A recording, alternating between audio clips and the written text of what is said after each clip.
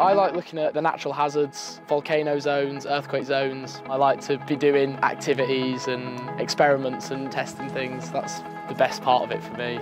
The caves were really interesting because when you're in there, you're trying to think about how it might have formed, what was going on in the past, what the environment was, and you're trying to piece together the history of the area, trying to piece together what's happened in the past and why everything's the way it is as we see it today.